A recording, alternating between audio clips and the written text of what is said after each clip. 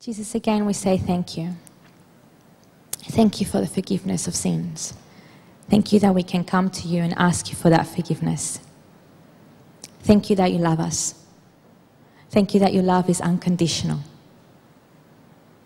Thank you that you allow us to enter into your presence, sit at your feet, listen to you, be loved by you, be transformed by your grace.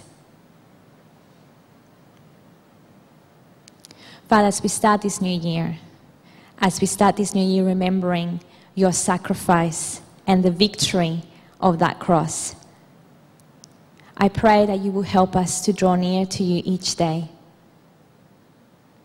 And I pray that the truth of the cross and the resurrection will continue to change the way we do life here on earth. In Jesus' name, amen. All right. Well, guess what? I'm your, I'm your preacher today. It's been a while. I know I've been a, uh, on maternity leave for a while. Um, if you're wondering where Eli is, well, he had a very busy New Year's, so he's in bed resting, as he should be. Let me just get my notes.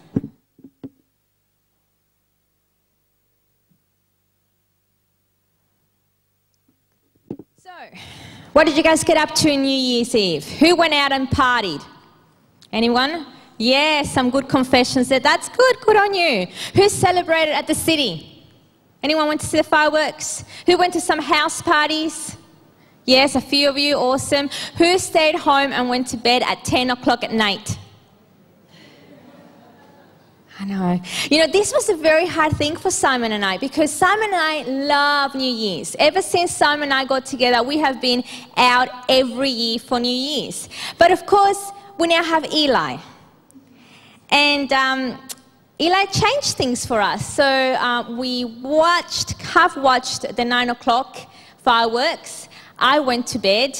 My husband stayed up until midnight because he had he was on bottle duty, which means cleaning the bottles, sterilizing them, putting the formula, making the formula, putting it in the fridge, and uh, and then he went to bed by himself at 12 o'clock. Happy New Year. Life uh, has a lot of change, don't you agree? There's so much change that happens in life. Some of that change is great. In fact, we look for it, we pursue it, we go after it, like marriage. Alan and Lisa getting married this year in March. Woohoo! That's good change. Alan had to pursue Elise. Alan had to ask Elise. Elise had to say yes. That is a welcome change. That is a change that they've sorted out, and that's awesome. Maybe for some of you, there might be the birth of a child.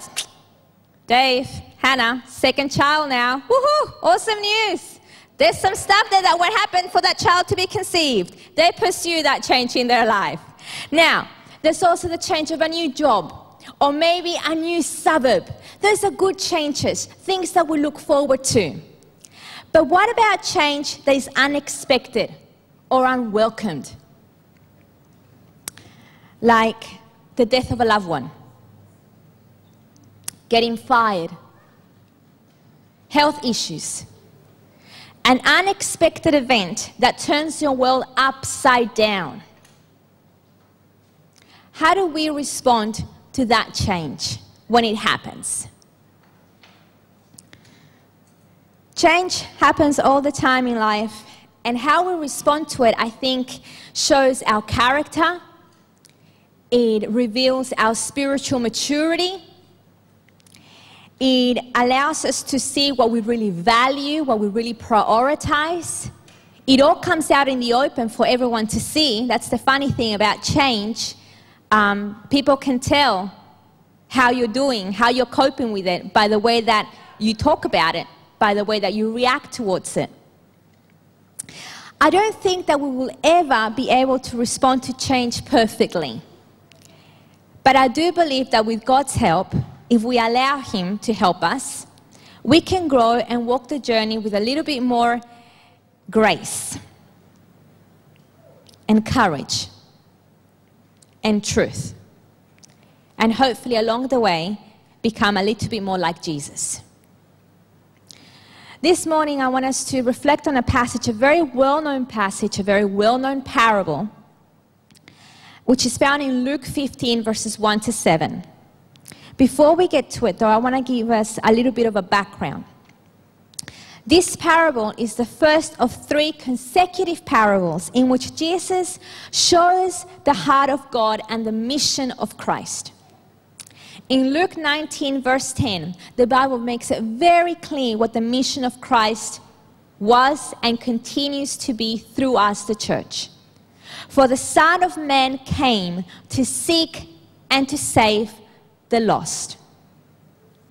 This story that we're about to read challenges us the way that I guess we look at the heart of God, the way that we interact with the heart of God, and the way that it's meant to move us with compassion to seek the lost among us and to bring them the good news of God's hope.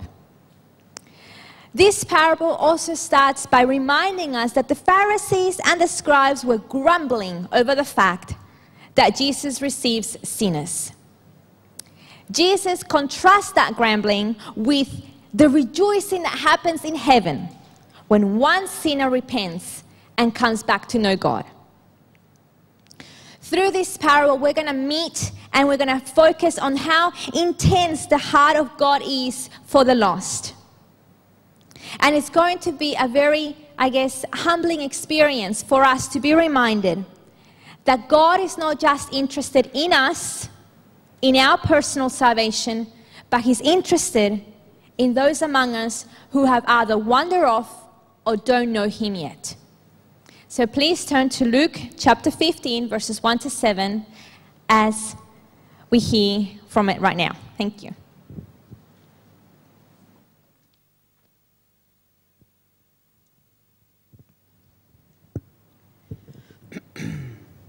Now the tax collectors and sinners were all gathering around to hear him. But the Pharisees and the teachers of the law muttered, This man welcomes sinners and eats with them. Then Jesus told them this parable Suppose one of you has a hundred sheep and loses one of them. Does he not leave the 99 in the open country and go after the lost sheep until he finds it? And what and when he finds it, he joyfully puts it on his shoulder and goes home. Then he calls his friends and neighbours together and says, Rejoice with me, I have found my lost sheep. I tell you that in the same way, there will be more rejoicing in heaven over one sinner who repents than over 99 righteous persons who do not need to repent.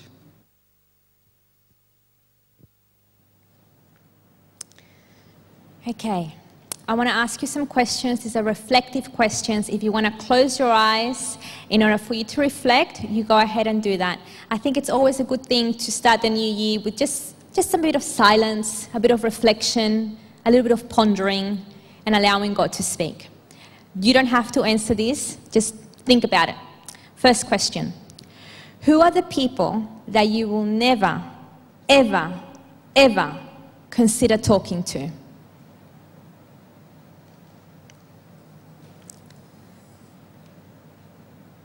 Which person or groups of people will you not want to pass in the street?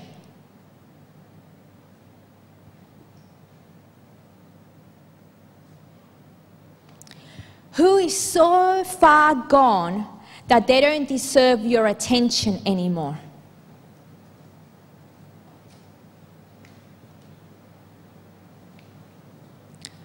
Who are the lost in our community?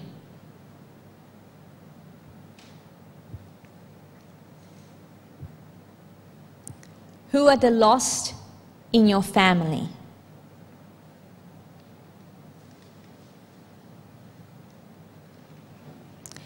Do you feel as if you are lost?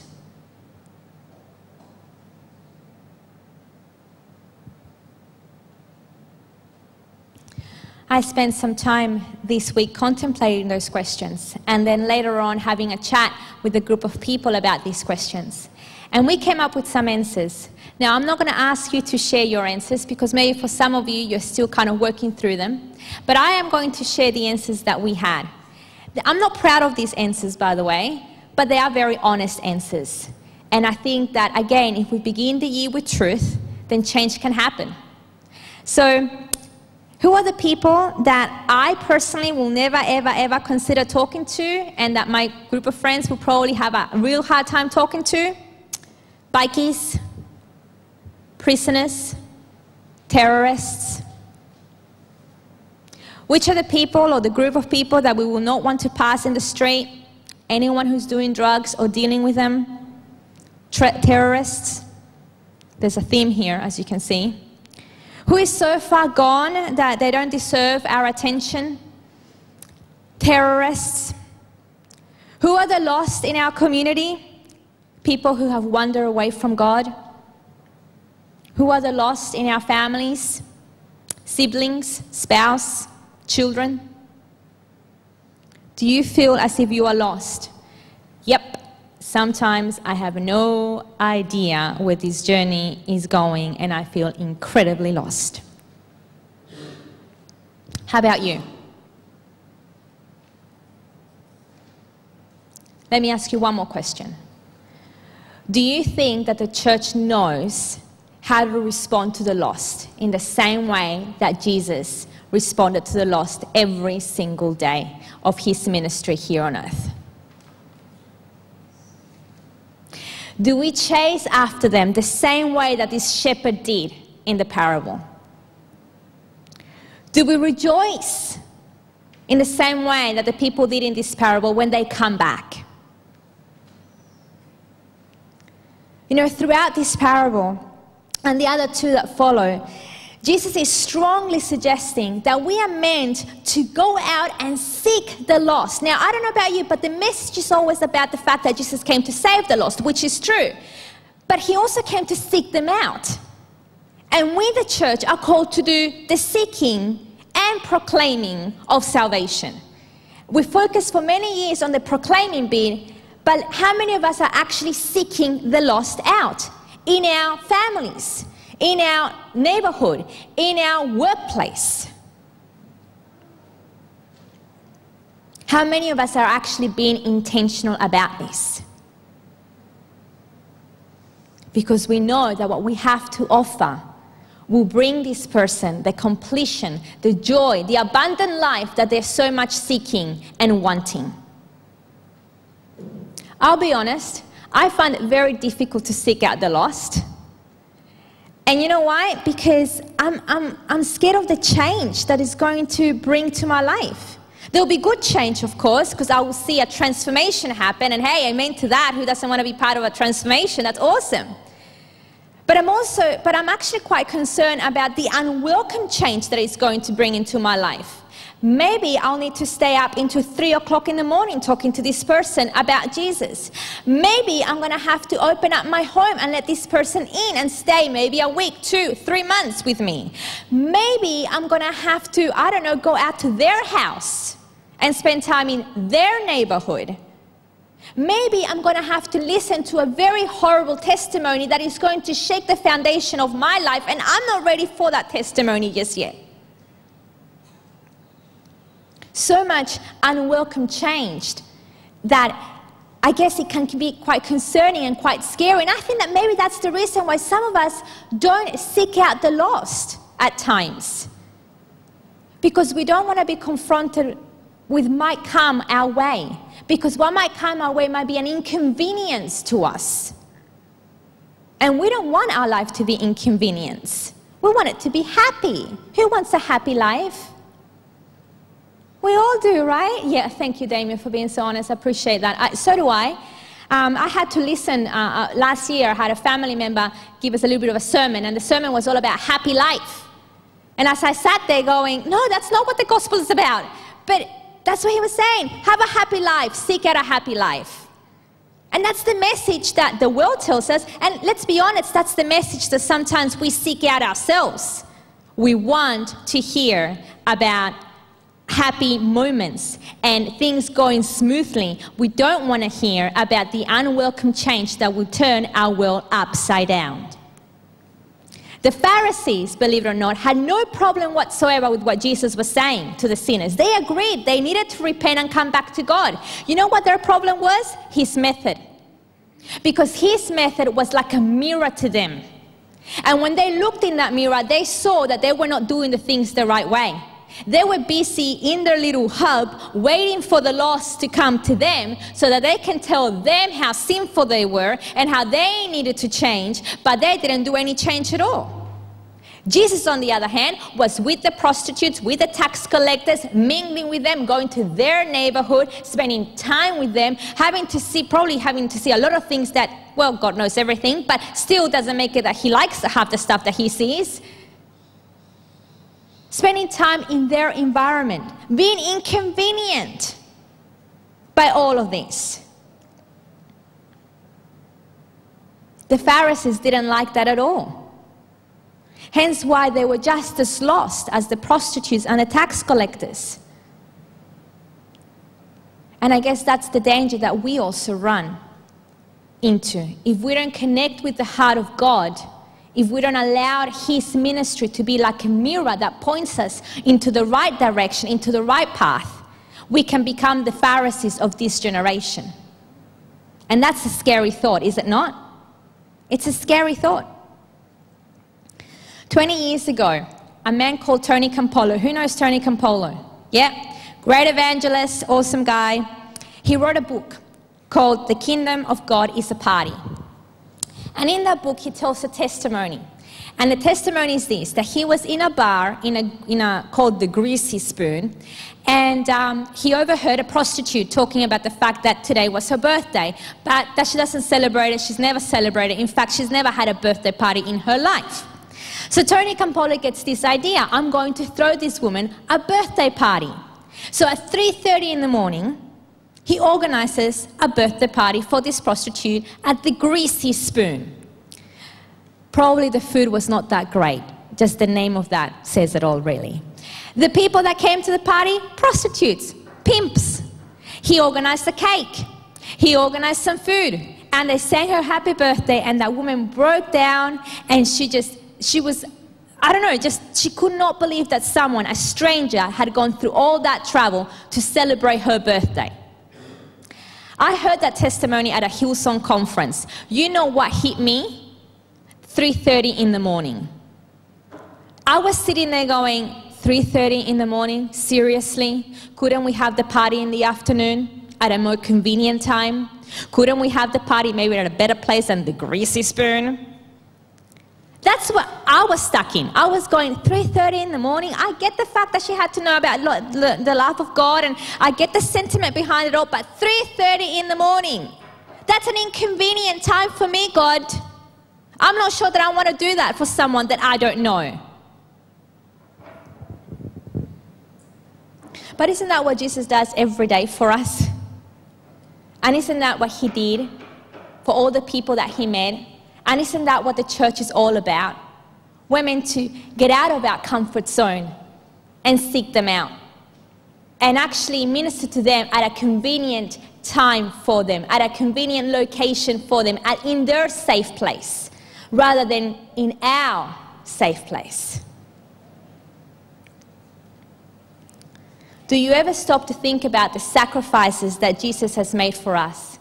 And I'm not just talking about the cross, I'm talking about the fact that he chose to come to earth as a baby.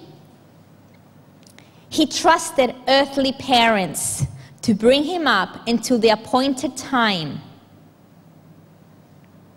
He got a job as a carpenter. He ate and drank and spent time with the lost, knowing full well what the consequences were. Do you ever stop to just think about those moments and think about how much He gave up for us? Not just the cross, not just the resurrection, but the life that He had here for 33 years. He is our Savior, and He's definitely our friend. And He invites us to be part of a meal that is greater than we could ever imagine.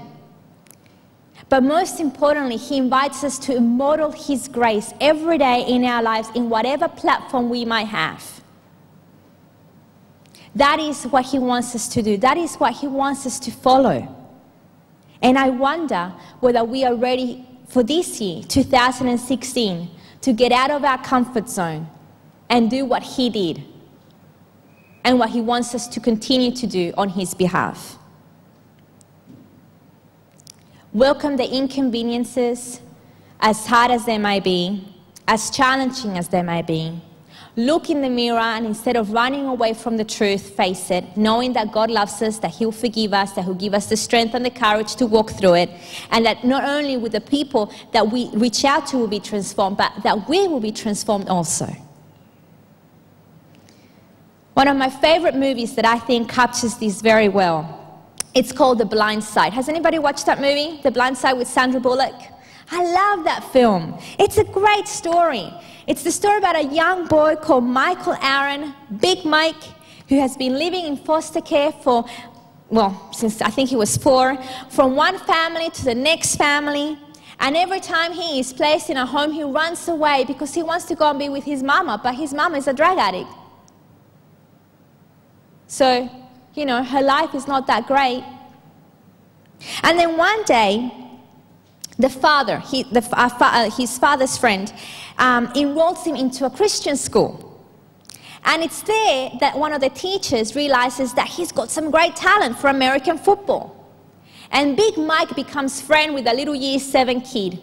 And this little year seven kid has a mother, Leigh Anne. Do you guys remember that character by Sandra Bullock? Wow, she was a force to reckon with, Leigh Anne.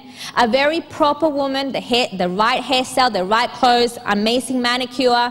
She just, you know, she was taking no prisoners. Like, she was just amazing, this woman. She had everything under control. You looked at her house and you could see that it was just very orderly. But Big Mike comes into her life and, well, he changes things all around. She sees him walking one day on the street. It's raining. She stops the car. Where are you going, Big Mike? To the gym. What are you going to do there, Big Mike? Sleep. No, you're not. You're coming home with me tonight. The next morning, Big Mike wakes up really early, trying to, you know, go out before the family wakes up. She wakes up, she says, What are you doing, Big Mike? I'm going home. Where, where's home, Big Mike? I don't know. Well, then you're not going. You're staying here for Thanksgiving. This woman welcomes this homeless kid that she's got no idea who he is, by the way into her home. It changes their life. It turns it upside down. The husband all along is going, Do we really need to do all of this change? And she says, Yes, we do. We have to do this change. In the end, she tries to adopt him. And when she tries to go and find out about him and his family and do the whole adoption papers, there is no record of Big Mike's mother. But that's not going to stop Leigh Anne getting what she wants. So she goes and finds the mother of Big Mike and she goes to her neighborhood.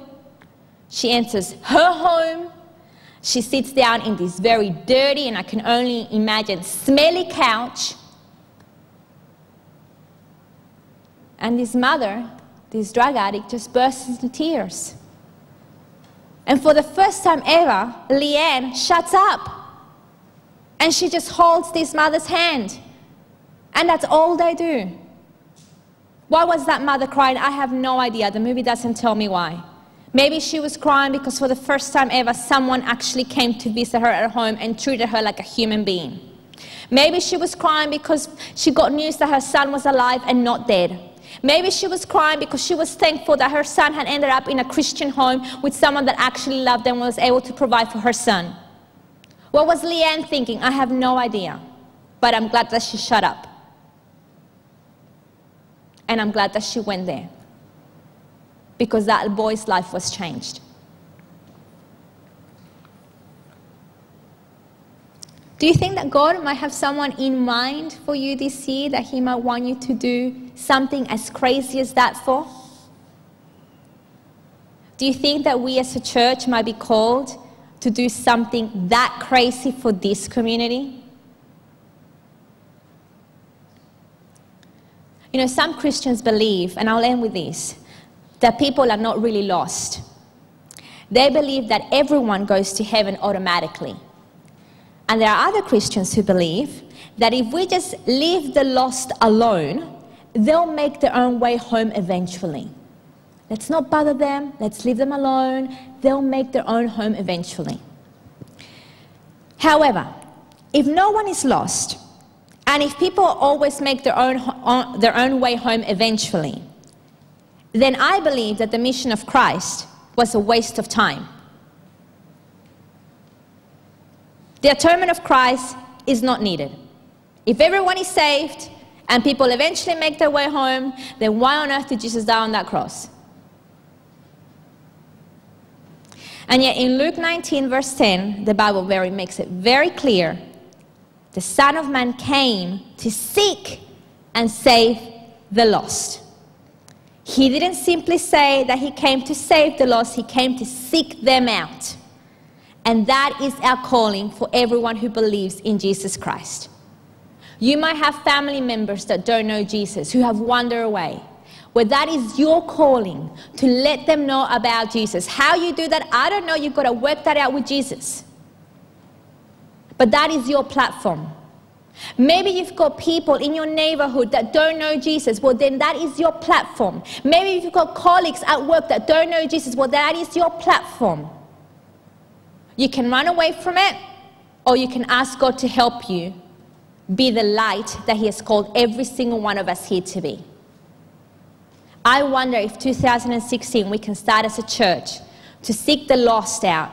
And as Pastor Matt reminded us last year, instead of rejoicing every single time people come in, let's rejoice every single time we go out into their neighborhood, into their safe zone, and actually be with them there rather than just counting the numbers that walk through that door. Let's pray. Father God, and let's be honest with you, um, your word is very hard sometimes.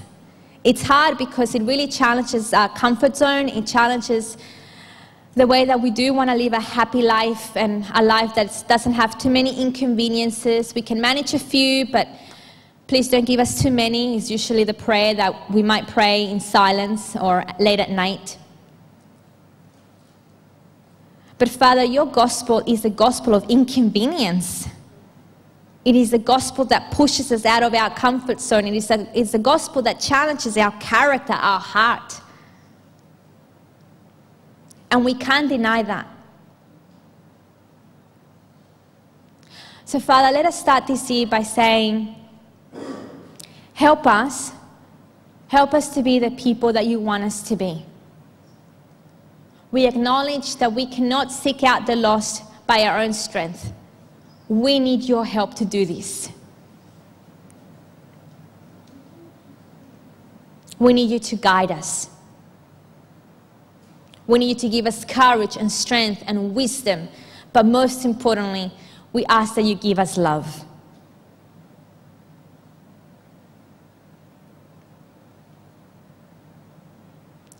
We want to th- say thank you in advance for all the amazing opportunities that you're going to give us this year to let people know about your love.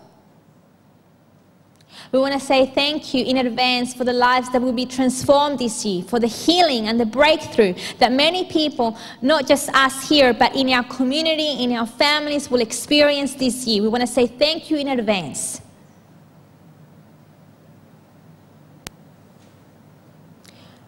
Help us, God, to be the people that you want us to be. In Jesus' name, amen. Savior alone, carry